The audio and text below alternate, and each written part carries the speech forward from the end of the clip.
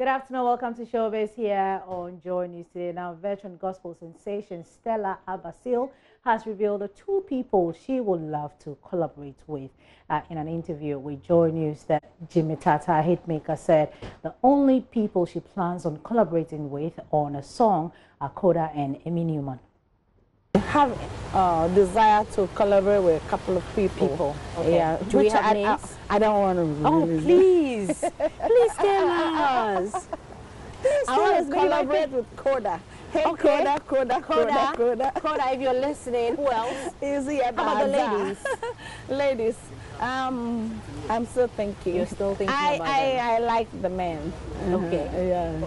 Are, like are, are, the ladies troublesome? No, no, no, no. I personally like, uh, you can see my nature. Yeah. I'm free, yeah. you know. You're you know. an open, free uh, bed. Yeah. I, I prefer, you know, opposites attract. I prefer the okay. guys. Yeah. Okay. Yeah. That's that's interesting. Yeah. so, um, I mean, but if I want to do with the lady, Emmy Newman is my. Yeah.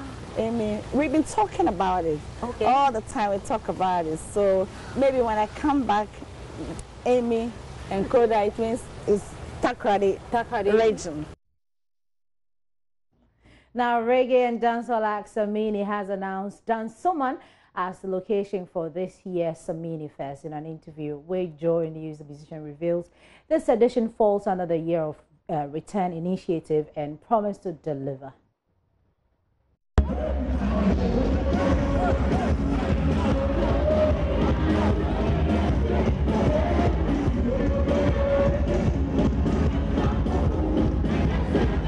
Been two decades. Um, Samini uh, still gets everybody dancing. Uh, you should see me, you know, dancing in my heels. You never cease to amaze your crowd, like any day, any time. How do you do it? Uh, I just stick to the work, focus, and make sure I give my all when I'm at work. You know, so I think that's the results I get from breaking my back for the fans. Yeah. It brings me back to uh, Samini Fest uh, 2019. I know that you've put in a lot of work. There are so many things that you did ahead of this particular event. What are we expecting? Uh, you took a break for some time. What are we expecting? Well, uh, this year's edition is the Year of Return edition, and I'm taking it back home to Dansoman for the first time.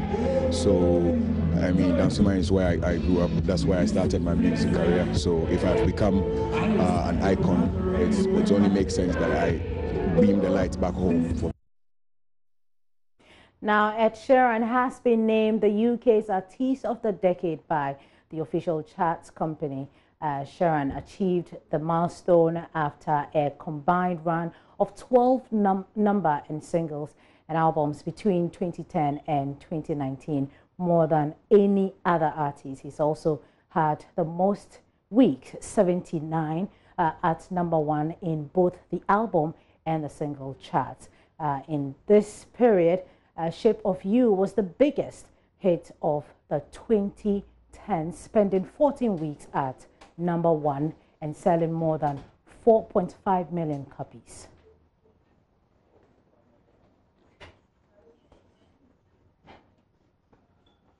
That'll be all for showbiz here on Joy News today, the small showbiz in our subsequent bulletins. Over to you, Gifty.